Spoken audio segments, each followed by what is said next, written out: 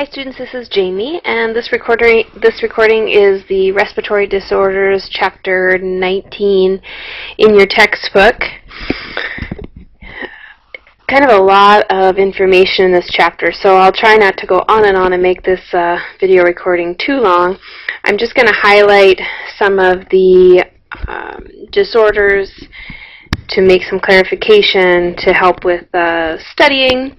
I'm going to be doing something a little bit different. I'm going to be, on the PowerPoint slides, I'm going to have questions, and we're going to kind of try and have kind of a dialogue. I know we really can't because it's just me talking, but I'm going to ask you some questions. You can kind of think about what your answer would be, and then we'll talk. I'll talk about it anyway, and uh, hopefully you'll email me if you have questions.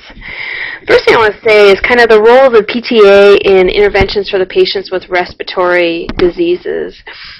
After patients have been evaluated and treated by the PT and have been determined to be medically stable, uh, the PTA may treat patients with respiratory diseases. Um, you, as a PTA, need to remember that any changes in a patient's status must be immediately communicated to the nurse that's in charge of that patient, and your physical therapist. Um, when you're working with someone who has some type of a respiratory disease, you are going to be looking at their oxygen saturation levels, which would be monitored with a pulse oximeter. I know in PTA 110 you got a chance to play out that pulse ox a little bit when you were learning vital signs. You'll continue to be able to practice um, doing a treatment using the pulse ox. We'll, we'll, I'll use it again in the winter when we go in PTA 113. But this is something that you're going to want to have with your patients. A lot of therapists in like a skilled nursing facility or even at the hospital carry a small, uh, a small oximeter in their pocket that they kind of own, um, that they sterilize in between patients, and it just simply fits on the finger. It gives them the heart rate, tells them the oxygen saturation. When you're working with someone with a respiratory disorder, you're definitely going to be talking with the nurse before you go in the to see the patient, to ask them how they've been doing. You're going to want to read in the chart, get some baseline vital signs, get some baseline O2 sats to kind of figure out what it is that is this patient's normal and what parameters you need to keep this patient in to keep them safe while working with them in the treatment. You may also be taking their blood pressure and pulse before, during, and after treatment. You may use a peak flow or an incentive spirometer, and those are the when you think about if you've visited someone in the hospital and usually by the bedside table there's a spirometer and it's a little plastic. I'm sorry I should have put a picture up here actually as I'm thinking about this. Um, it's it's something that they breathe into. There's usually a little ball in it. They try and breathe in and breathe out, and to try and decide, try and get as much oxygen as they can in and out. It's something very simple that you could do with your patient as you're kind of starting your therapy. Because remember, these patients, if they're respiratory and they've declined in, in their physical status, they haven't been taking deep breaths. They've been taking small, shallow breaths They've been in a semi-Fowler position so that their chest isn't getting a chance to really expand and that can lead them to being susceptible to pneumonia. So even just the incentive spirometer is something that you could do in your beginning of treatment to work with your patient on taking deep breaths. You can also work on um, breathing techniques, diaphragmatic breathing, pursed lip breathing, some things that you're going to learn in the special topics class, um, but your book talks about them a little bit here. You're going to always want to be watching your patient, looking for signs. How's their color? How well are they talking? Um, if patients are talking like this and they're answering questions in short statements, you need to be aware of that. You need to take a look at that respiratory rate and see if it's increasing or decreasing. There are patients that this is the normal way they breathe because they're that short of breath. And you need to be aware of that and you need to make sure that you are controlling the therapy treatment within the parameters that are appropriate and safe for your patient. So that's my little spiel on uh, respiratory disorders, kind of getting you to start to think about what it would look like in the clinic. So let's go over some questions here. So you've read the book, you have watched a number of maybe the uh, videos that I've had on there, but let's try some questions. So explain the purpose of the specialized cells in a respiratory mucosa. So first of all, what are the those specialized cells? Those are the goblet cells, and their function is they secrete mucus to trap uh, the inhaled foreign particles before they can damage the lungs. And the those tiny little hairs are what sweep away any secretions and foreign particles upward from the lungs to be coughed out.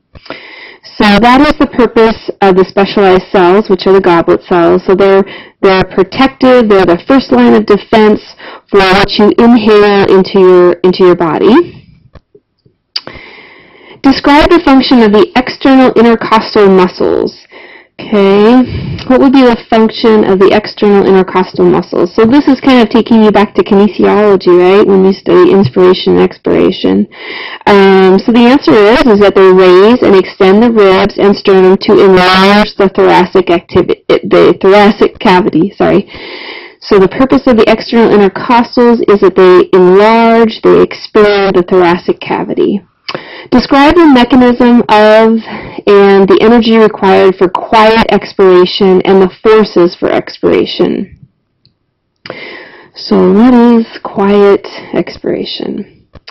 Quiet expiration involves the relaxation of the diaphragm and the external intercostals. And there is no, excuse me, there is no energy expenditure, right? It's the relaxation of the diaphragm. Forced expiration requires the energy to contract many muscles, and those are your internal intercostals, of course your abdominal muscles, and your neck and your shoulder muscles. So forced expiration is what requires the energy. Um, not quiet expiration, because quiet expiration is just relaxing of the diaphragm, diaphragm and the external intercostals. Okay. Name the organism that commonly causes primary atypical pneumonia, okay, mycoplasma, or uh, also known as influenza virus type A or type B, um, are the primary cause of atypical pneumonia. And if you're comparing the pathophysiological changes in viral and pneumococcal pneumonia, so inflammation is interstitial, so it's around the alveoli, in the viral pneumonia. In, in uh, the pneumococcal pneumonia, the pneumonia actually results in the exudate, including red blood cells, that fills the alveoli. Um, both processes impair the diffusion of oxygen but um, knowing that interstitial or viral, viral pneumonia is around the alveoli, whereas the pneumococcal pneumonia results in the exudate that fills the alveoli. So that's the difference between um, those two. And your book talks about that at length. So let me know if you're having trouble with that one. Explain why secondary bacterial infections may commonly follow viral infections in the respiratory tract of elderly patients. So why do you think that is? So why is it that um, someone who gets, uh, elderly patient who gets viral pneumonia, has viral pneumonia, is more susceptible to um, developing secondary bacterial infection, infections? Why is that? Well, remember an elderly patient, the immune system can already be suppressed, and that viral infection causes necrosis and inflammation of the respiratory mucosa.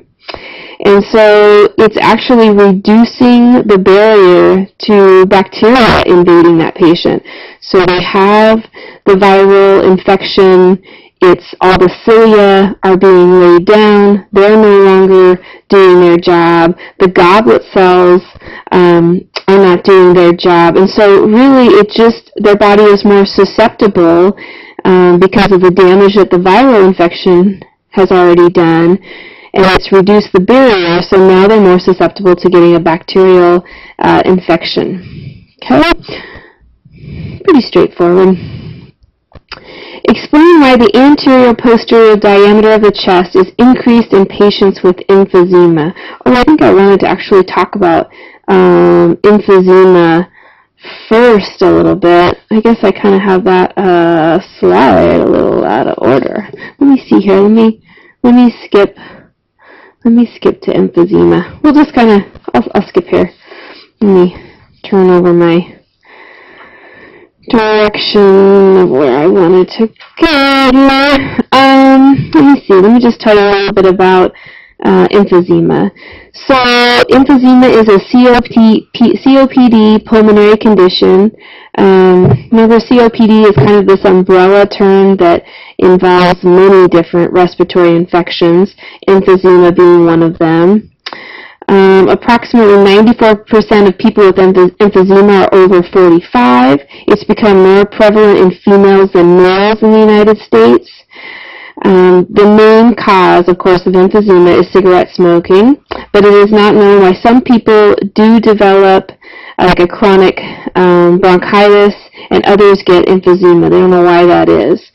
Um, symptoms of emphysema. Okay, so when I was in school, they don't, this is kind of being obsolete now, but we learned about the chronic bronchitis, the blue bloater, and the uh, the pink puffer. It was how we learned about it in school, and I know it's kind of it's a bit old school, um, but it's a really good way of kind of looking at your patients and figuring out who's got uh, chronic bronchitis and who's got emphysema because they really do follow these two classic looks. So the guy on um, your left there is the pink puffer, and the guy on the right is the blue bloater. So they've tried to get rid of these terms, but when you look at them, you, know, you can see the obvious differences. And what are what are those differences as you look at them? Um, the pink puffer, sometimes they call him, is a person where emphysema is the primary underlying pathology. And of course, emphysema results from the destruction of the airways distal to the terminal bronchiole, which also includes the gradual destruction of the pulmonary capillary bed, and this decreases the inability to oxygenate, oxygenate the blood. So not only is there less surface area for gas exchange, there is also less vascular bed for the gas exchange. Um, but there is less ven ventilation or perfusion than with the blue bloater, so the guy on the right. Um, the body then has to compensate by hyperventilating. The arterial gases, which are called ABGs, your book talks about that, um, actually are relatively normal because of this compensatory um, hyperventilation. So these patients are always in this tripod position. So you see him, he's got his arms on his legs, he's leaning forward. This is very classic of a patient um, with emphysema. You can tell he's he's going to be short of breath. He would probably be on oxygen if you were going to work with him. He'd be talking to you in very short sentences. If you asked him to lay down or lay back to do exercises, he may refuse because he simply cannot catch his breath. This is the best way for him to catch his breath. Um, eventually, um, he will um, he will have some he will have low cardiac car, sorry low cardiac output and, and because of that, people affect, affected with emphysema develop muscle wasting and weight loss. So notice how he's very thin. You can see the weight loss. You can see the wasting. Um, they actually have less um, hypoxemia than uh, the patient on the right there. And that's why they appear more pink than the other patients who um, kind of have a this blueness to them. And so a patient like the the man on the right here, he um, his primary underlying lung pathology is chronic bronchitis. And just a reminder that chronic bronchitis is caused by an excessive mucus production with airway obstruction, uh, re resulting with these um, an increase of these mucus-producing glands, and then they have chronic inflammation around the bronchia, Unlike emphysema, the pulmonary capillary bed is undamaged, and instead the body responds to the increased obstruction by decreasing ventilation and increasing cardiac output. Uh, there is a really dreadful um, ventilation to perfusion mismatch leading to hypoxemia, which is low uh, blood oxygen. And um, poly, um, let's see, no, yeah. So so the, let me say that one more time. So there's a dreadful kind of a ventilation to perfusion mismatch between the hypo- hypoxemia, which is the low blood oxygen, and, in, and the polycythemia, which is the increase in the red blood cir- circulating throughout the body. Um, in addition, because of this, they almost they also could have an increased carbon dioxide carbon dioxide retention. So they're getting too much carbon dioxide in their body; they can't blow it off. Because of this obstruction, their residual lung volume gradually increases, and that's why their chest gets bigger, and they begin to kind of bloat in the abdominal cavity. Um, they became they are um, hypoxemic they become cyanotic um, because they have they become almost a, a blue. I mean, their lips can be blue.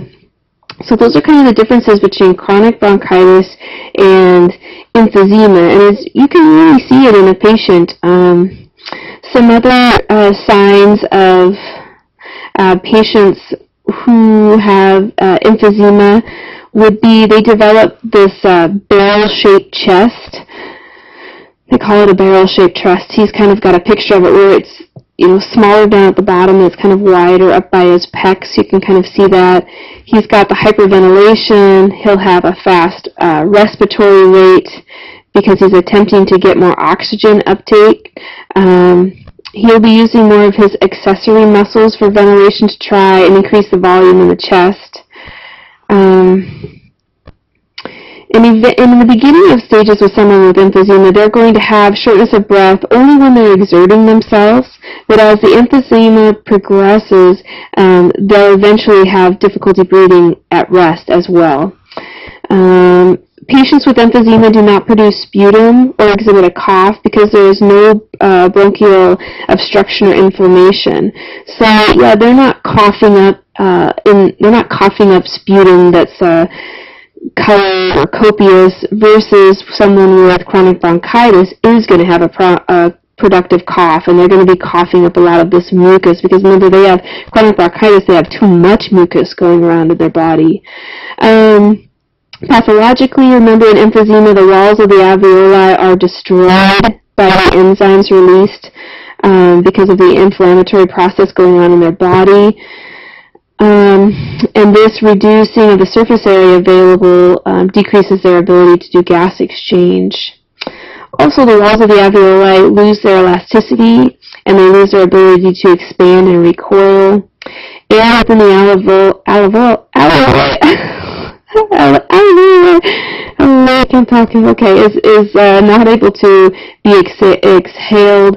Um, it's they begin. Um, they almost tend to stick to each other and they're not able to. They, I always kind of think of the alveoli as like little pillows in the uh, uh, inside the lungs, and and they become they're soft and they're pliable. I remember when I was autopsy assistant, just feeling the uh, lung tissue, and you could just squish it, and you can really feel and and hear the air come out of it. And with emphysema, this becomes scarred down. It it does. It's not soft. It's not um, a movable tissue.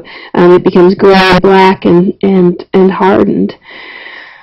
Um, the prognosis for emphysema becomes a life-threatening uh, condition as the alveolar destruction becomes more advanced. And they also have a high possibility of risk of infection and serious complications as well.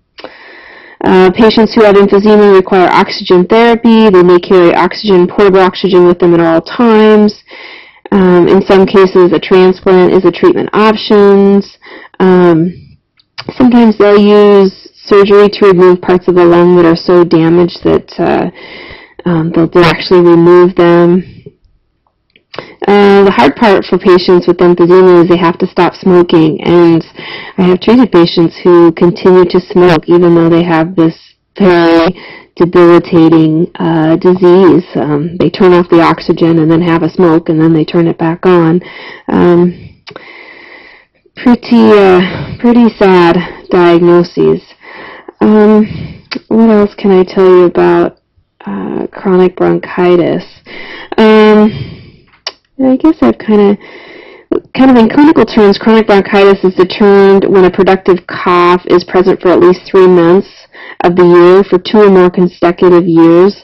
Um, of course, like I said, bronchitis is an inflammation of the bronchi that produces excessive secretions um, that are continually coughed up by the patient.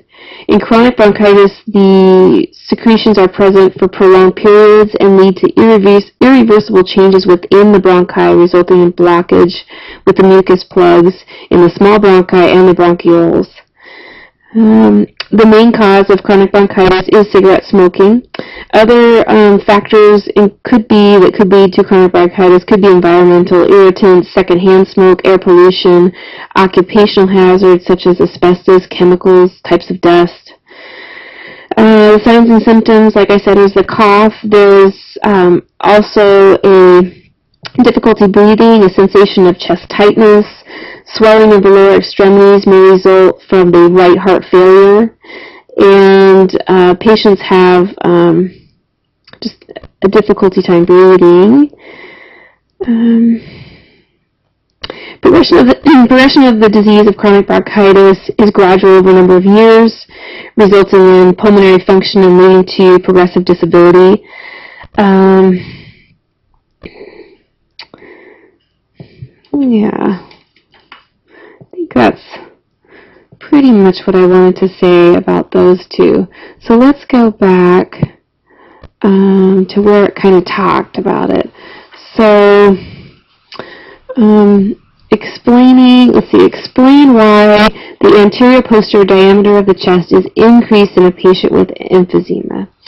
Okay, well, obstruction and the loss of elasticity leads to the air trapping and overinflated lungs, resulting in the, in the ribs becoming fixed in an inspiratory um, position.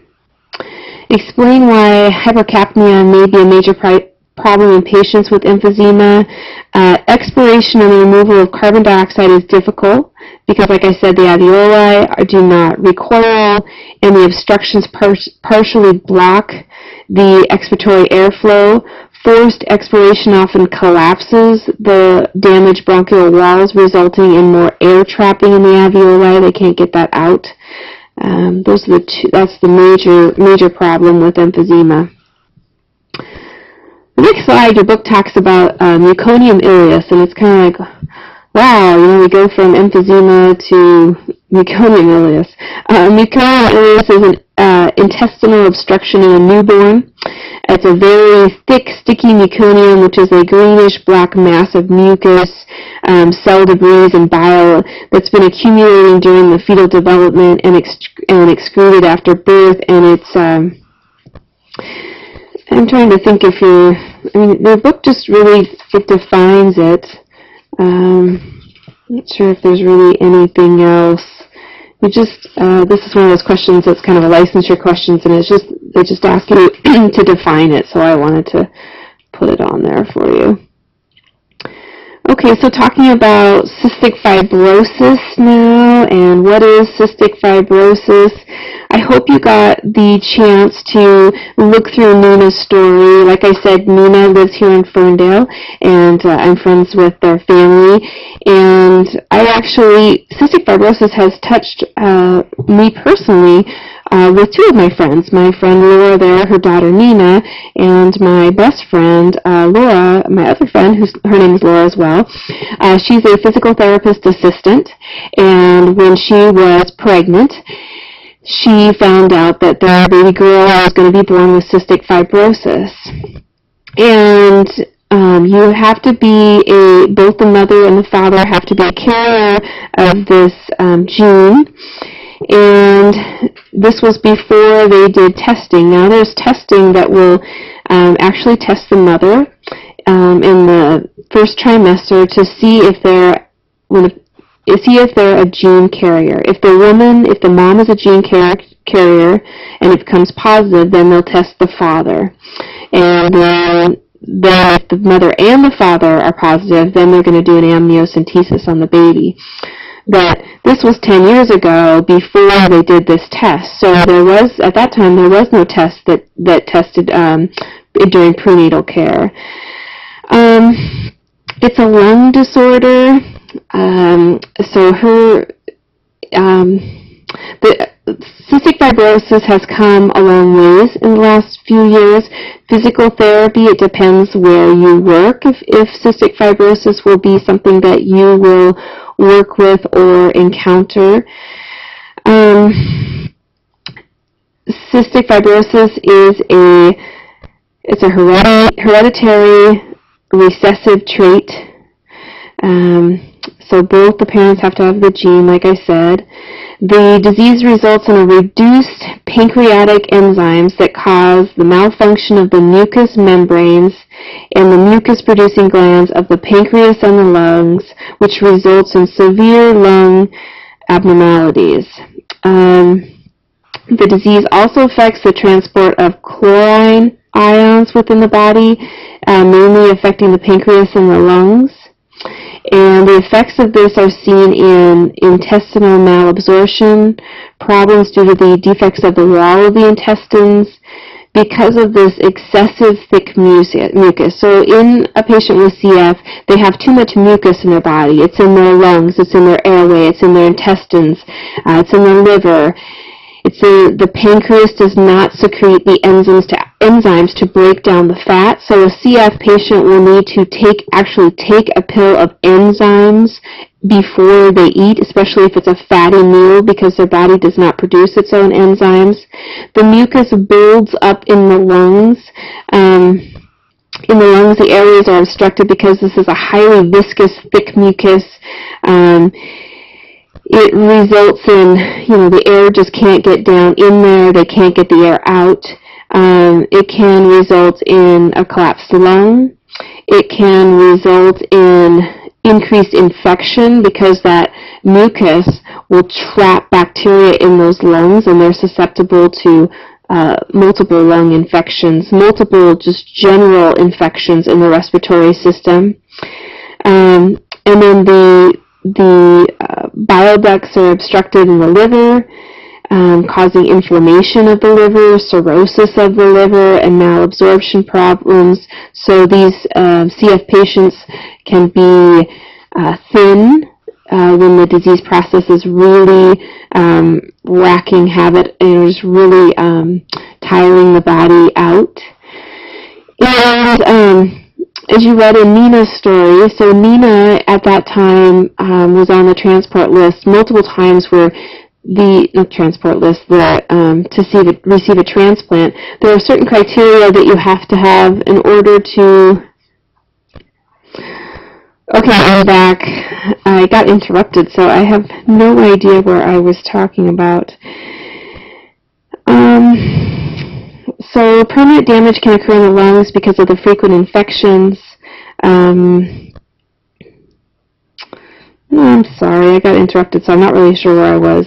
Uh, what else can I tell you about cystic fibrosis? Cystic fibrosis, you're going to learn about even more about it in special topics. It used to be that we did, uh, we still do chest PT, and your book kind of talks about it, where it's a cupping with your hands. These are the, the children that were kind of laid upside down on a lap and they were clapped on their back and their side and then they were told to cough to try and get the mucus out. Now they have a, actually have a vest. It kind of reminds me, it looks like a police a police uh, bulletproof vest that they wear. Kind of looks like that. And there are air hoses hooked up to it. It hooks up to a machine and it actually forces air into the vest and it does chest PT. And um, I'll, I'll I'll put a link to a video of that um, online. But so that that's really that's really helped CF patients because they have the vests all the way from a one-year-old all the way up to a 40-year-old can get these vests, and so they do this multiple times a day. They do inhalers, they do nebulizers, they do coughing treatment, um, they do exercise to help with um, their breathing of the rib cage. Um, the common one is the wheelbarrow. You know, the if you remember that where when you were a kid, where you would walk on your hands and someone would lift your legs up, and you'd have kind of races on the lawn. Um, that's one activity that's fantastic for a, for a child with CF because it's working on the muscles that they need on the trunk and the respiratory and the um, the thoracic cavity And so that's one of the exercises that you'll see CF children doing, and they get very good at. They go up and down stairs. Also, the trampoline is a nice um, because that forces the diaphragm up. It helps with breathing. Uh, okay, well, I think I've talked about cystic fibrosis enough, and I, I hope you in, um, were able to take something away from Nina's story. Um, you can go to her blog. You can. There's all sorts of pictures on there of her surgery and her progression and how she survived and what an amazing uh, thing that is to have a double lung transplant. If you can imagine having your lungs removed and someone else's put inside you when you just have Nina literally had weeks to live before she was going to uh, pass away, and she got the gift of a of a set of lungs.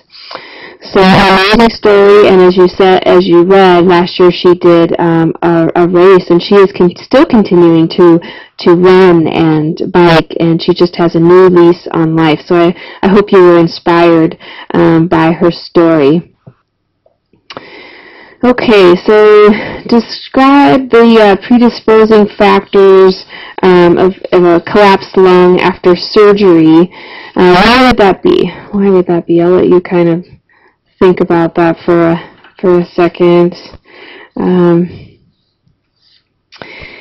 I kind of said it a little while ago, actually. So after someone has surgery, anyone has surgery, but this question in particular is talking about abdominal. They breathe shallow why? They're on pain medication. They were intubated. Um, they were uh, they have their degrees coughing. They're they're not coughing. They're not moving around. Um, they're not removing their secretions because they're on medications, because they're in pain, because they're in this recumbent position in the hospital bed. Um, they may have abdomen uh, distension, which is compressing the lungs because they've just had abdominal surgery. So someone who has a uh, collapsed lung, some of the signs and symptoms would be difficulty breathing, uh, fast heart rate, fast breathing, chest pain, asymmetrical chest movements. Um, so, and, and uh, you know, this is something that we're, why physical therapy is important to get patient, uh, get patients up and moving. It's amazing what pain medication, you know, patients don't realize that they need to get up and uh, move around because they're feeling no pain. Um, and they don't like you to come move them around, but it's important because they're going to get pneumonia, they could get a DVT, there are many, many things that they could get from bed rest. Okay, we kind of talked about this. I'm going to try this. I don't, I'm not sure if it'll work or not, but this is just a one minute video of a man um, who has COPD. He's kind of talking about his symptoms. You can kind of look at how he looks, listen to the pace of his speech, listen to his breathing, kind of hear his story. Um, I'm thinking though, are you going to be able to hear it? I think so. I think so. We'll try this. This is an experiment, guys. May not work, but hey. So how has COPD affected the quality of your life? You know, it's funny. Over time, gradually, I've noticed in being short of breath, as uh, I didn't, I didn't. First thing I recognized, I guess, is I didn't have a lot of stamina. Even when I was working um, and being very physical in the work that I did, I'd have to stop halfway up, crawling up a ladder. And over the years, um, it's digressed to the point where I can't go for walks anymore, as much as I would like to. Uh, I have to take my time going downstairs, and especially coming back upstairs. Uh, I can't do the things that I used to love to do, play golf, ride motorcycles, swim, scuba dive. Uh, so all aspects of my life, it's other than reading, it's affected it greatly. Um, anything to do with being physical. Because um, my lung capacity is just so diminished that, uh, once again, I have no stamina. So I know there's different classifications of COPD. Do you know how severe your COPD is at this point? The only thing that I've read or I've heard people talk of because that is severe. I don't know if there's numbers involved or whatever, but it's, uh, in my estimation, my definition would be severe COPD. Okay, so that was kind of just a quick